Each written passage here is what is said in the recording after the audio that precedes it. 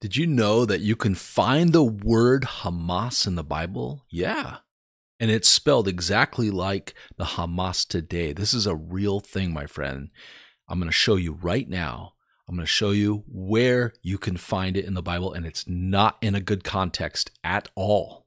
In fact, it was about how just before why God destroyed the world in the great flood. And guess what? Jesus references that as pertaining to his return, like what to look for, what it will be like just before his return. I'm going to show you right now. Let's get into the scripture. Here, here it is. Check this out. Genesis chapter 6, it says right here, then God said to Noah, The end of humanity has come before me. For the earth is filled with violence.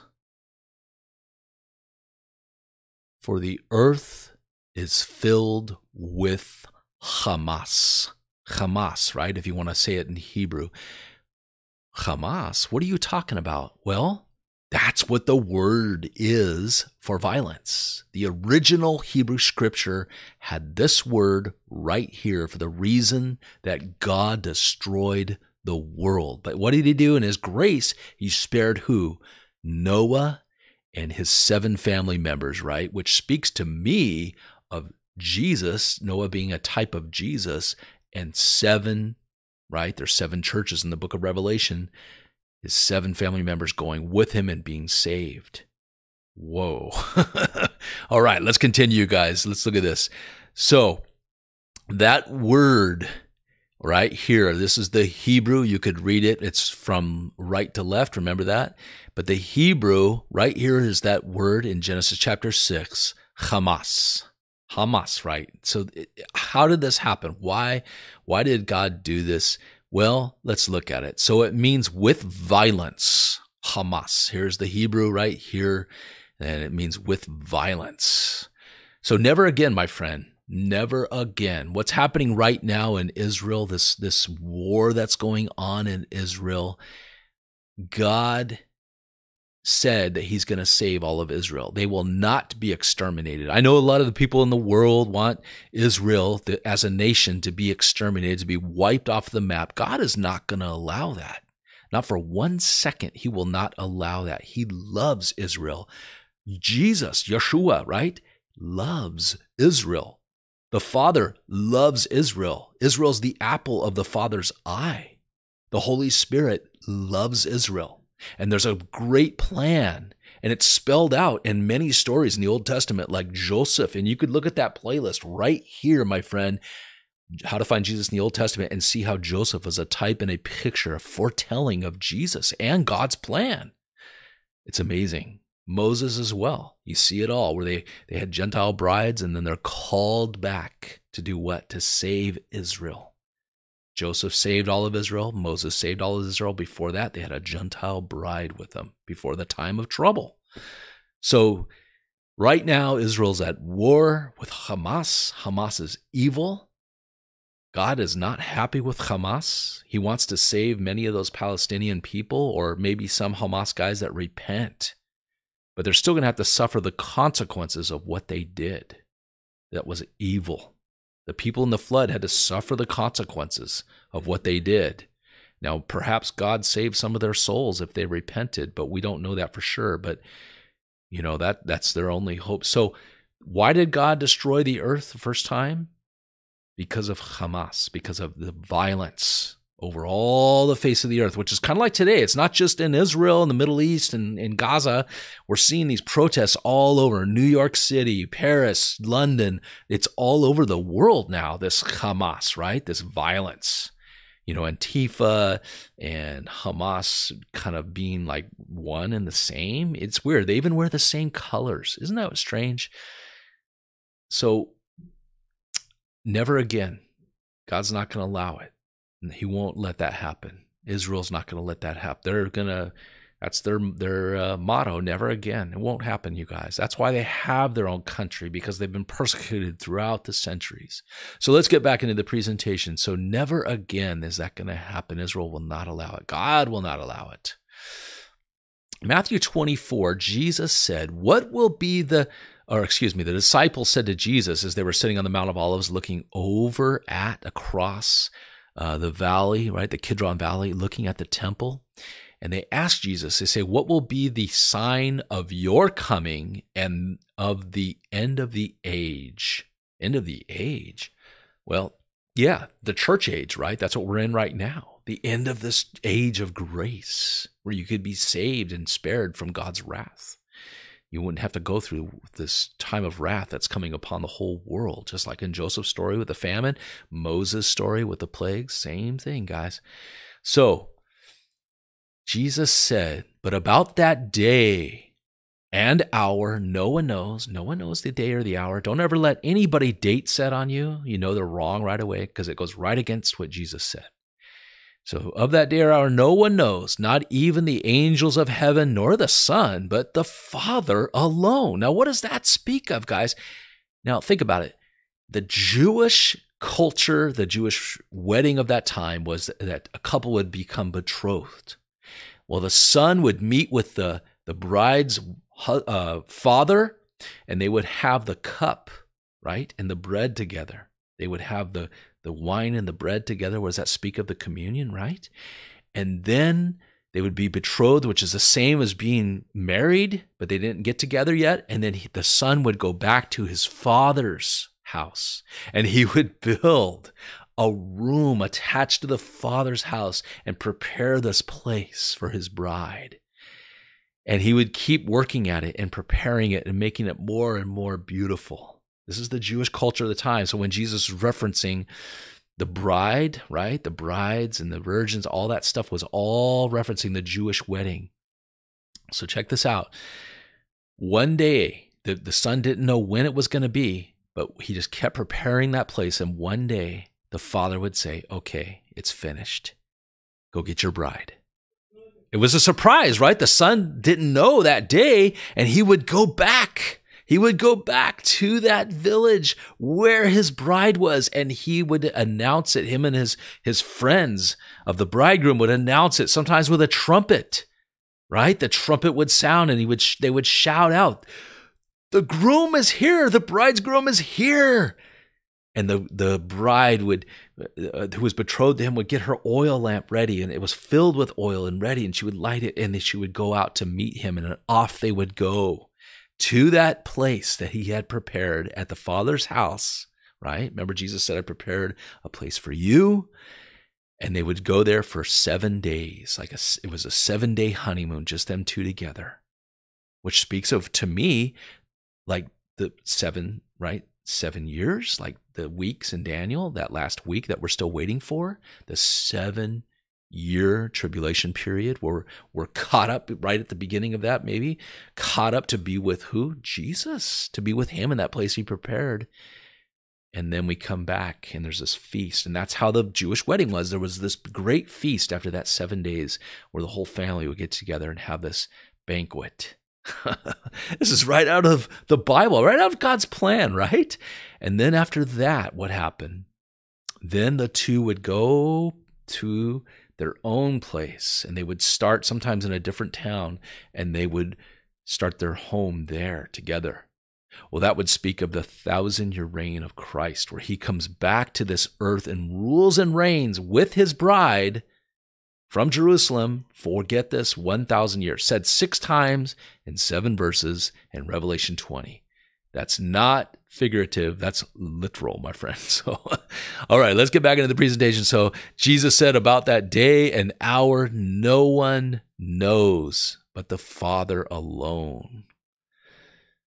For the coming of the Son of Man will be just like what?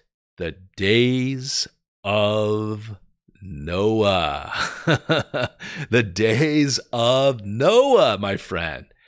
What is that like? Violence all over the place, just kind of like today, right? I'm not saying that Jesus is coming today or this year or whatever, but it's interesting that that's what the world looks like and it's headed that way more and more.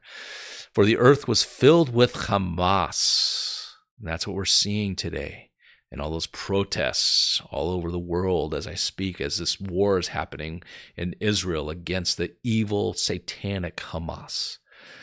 For as in those days before the flood, they were eating and drinking, even though there's all that violence, just like today, people are eating and drinking and what else? Marrying and giving in marriage until the day that Noah entered the ark, right? Just like when Jesus enters with his bride into that place that he had prepared, just like Noah prepared that place, and the door was shut and what was happening? Destruction. God's wrath poured out, literally poured out on the whole face of the earth. This is what Jesus was talking about, my friend. So, Matthew 24, and they did not know, they did not understand until the flood came and took them all away. So, they were mocking Noah, actually, just like they mock Jesus today, right? And those who preach the good news, they mock us today. And that's what Peter said. They were mocking Joseph as he preached to them for a hundred years or over a hundred years. And then that day came where the ark, the door of the ark was shut. They might be knock, knock, knocking on heaven's door, but it's not going to open for them. And they're going to have to go through this time of great trouble on the earth. They could still be saved. God has gives everyone a second chance. This is God's nature, right? He gives them a second chance, but they'll have to lose their lives in that great tribulation period, that seven year period. So Matthew 24 continues, and at that time, Jesus said, there will be two men in a field, right? So he's speaking about two men working in a field just like we would today. Like I work out in the field, right? And uh, I work outside and in, in, in, a water department. I repair water mains and things like that. So there's two men working here on a like a farm type work, and then guess what? One will be taken, Jesus said, and one will be left. I believe this speaks of the rapture. Some people have started to say, like, no, that's not the rapture. That means something else. Uh, get over your intellectual high horse, okay? This is very simple. One will be taken, one will be left. Uh, Jesus is speaking about that time, just like the the Noah's uh, the door of the ark being shut. So here that guy's gone, it disappears. His rake's right here. It probably would fall to the ground. I don't think it's going to be like this big thing where planes fly out of the fall out of the sky and all that. I think God can do it to where it may not be noticeable. Perhaps, who knows, maybe Christians will be in, at that time, will be all be in concentration camps. Who knows? this is kind of where the world's going, right? We might be in re education camps, like I've heard some of these politicians say that we need to be uh, reprogrammed, right? Deprogrammed, right? And perhaps they get all the Christians in, in all these camps and then boom, we're gone. Who knows? We'll see. We'll see what happens. But I think persecution is definitely coming for us. That's what it seems like anyway. All right. Then we look in First Thessalonians chapter 4. Now, these are the rapture verses if you're looking for them. Go to First Thessalonians chapter 4, starting in verse 16 here. It says, For the Lord himself will descend from heaven with a shout. Right? Doesn't that remind you? Remember, we talked about the bridegroom coming back for his bride, and there was a great shout in the street for his his uh, betrothed bride to come out and meet him. And here it is. It continues with the voice of the archangel and with the trumpet of God, right? The trumpet of God speaks of that rapture. That's in Revelation, right? Where we see there's this church, the letters to the church, which could speak of church phases in history. And then suddenly there's this trumpet that, that uh, John sees, and then the, and a shout, and that door opens to heaven, and he goes up I believe that that's a picture of the rapture of the church. And the dead, that just means caught up, by the way. Rapture just means caught up to be with the Lord, just like Enoch walked away with the Lord. And the dead in Christ will rise first. So all your loved ones that are in the grave, their bodies will meet their souls because your soul is with Jesus if you're a believer. To be absent with the body is to be present with, with the Lord. That's what the Bible says. So their souls will be united with their new bodies, like their old body transforms into this new body, just like Jesus' new body, where he can walk through walls, he can still eat and drink. It's a physical body, you guys.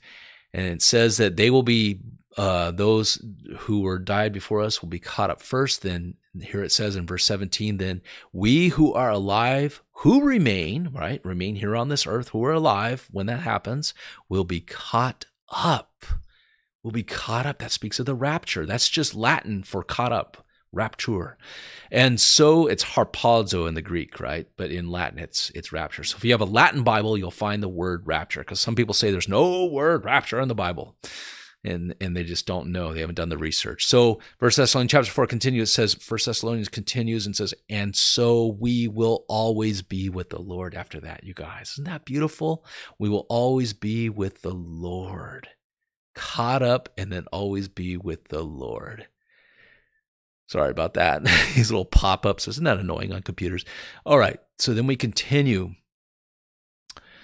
Therefore, comfort one another. Don't scare one another, right? We're not, these aren't scary verses. These are comforting verses. Comfort one another with these words. What words? The word of God. These are coming from God. Now, look at this. It continues. So now we're in chapter five. Remember, the chapters were put in later by scholars. This is just one scroll written to the Thessalonians that Paul wrote. Chapter 5 says, The day of the Lord is coming like a thief in the night, like a surprise, right?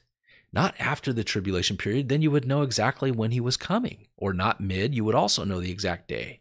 But no one knows the day or the hour. So Jesus comes first by surprise, like a thief in the night, to take his bride away. But then he comes later, the whole world will see it and he'll touch down on that Mount of Olives and it'll split in two, just like Zechariah says. And then he will go in and walk through that east gate and into the glorious temple that he will be in for a thousand years, that new temple that Ezekiel speaks about. So then it says here, while they are saying in 1 Thessalonians chapter 5, while they are saying peace and safety, right? Peace and safety? then sudden destruction will come upon them. They might be thinking there's going to be this great reset. Now we got rid of those Christians. They're gone. They're vanished. Those believers in Jesus, gone out of our world. The basket of deplorables have been taken away out of our lives. And now we could have this great reset, peace and safety. Then what happens? Sudden destruction will come upon them that seven year time of great trouble. Like labor pains upon a pregnant woman. So when they start, you cannot stop them, right? But you, brothers and sisters, are not in darkness, so that the day would overtake you like a thief. You're not in darkness if you're a believer in Jesus. For you are all sons of light and the sons of day. We are not of night or of darkness. So, this is the hope, you guys. Are you a son or a daughter of the day? Or are you a son or a daughter of the darkness? Of Hamas, right? Of violence and darkness and oppression. Those are all the, the meanings of that word physical violence to others and, and evil. That's what Hamas really is. Do you want to be a son of darkness or do you want to be a son or a daughter of the day? of light, of Yeshua. Jesus said, I am the light of the world, and you too are the light of the world, speaking of his followers. And, and we will be caught up someday if he comes in our lifetime, or if we die, we'll still be in the presence of the Lord. Our souls will be, and then someday we'll be united back with our body, our new body. Wow. This is a, a free gift that God offers you. Why would you turn this down? And why would you not want to be a son or a daughter of the day of light? You can be, my friend. You could give your life to Jesus Christ right now. If you have never given your life to Him, if you're not sure, you can say this prayer after me from your heart to God. You can say it to Him. This is not a prayer to me or anybody else. You, will, you just stop what you're doing right now if you would like to believe in Jesus you would like to be sure that if he came back, you would be caught up to be with him as his bride. Or you would be caught up to be with him when you die. The angels would take you away to heaven to be in the presence of the Lord until that day. How would you like that, my friend? To be guaranteed to live, to have life and truth in your heart, to have Jesus Christ living inside of you, in your heart, as your Lord and as your Savior. Would you like that? Well, then say these words after me. I'm going to pray, and you're going to repeat those words you are praying to God right now, all right? If that speaks to you. All right, ready? Let's pray. Say them after me. Say these words after me. Dear God, I know I'm a sinner, and I am sorry for my sin. I turn from my sin. I choose to follow you, Jesus.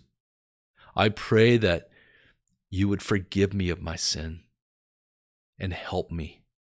I believe that you died on the cross. I believe you shed your blood for me. I also believe that in three days you were raised from the dead and you are alive today. I choose to follow you as my Lord and as my Savior from this day forward. I pray all this in Jesus' name.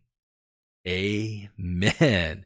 Hey, my friend, amen. God in heaven rejoices over one who repents. Repenting means turning back to God, turning to God, away from your evil ways and turning to Him. It doesn't mean you won't mess up once in a while and sin as a believer, but it means that you are now a child of God. He lives in your heart now. So I pray the Holy Spirit fill you right now, give you peace, and make sure you get fellowship with other believers you're going to a Bible believing church and you're praying every day, you're getting fellowship with other believers. If you're in Israel, go to One for Israel or go to Jews for Jesus, both great ministries that will help you, my friend. And don't forget to hit this playlist right here How to Find Jesus in the Old Testament. You will be blessed by this. So you want to click on this playlist right now.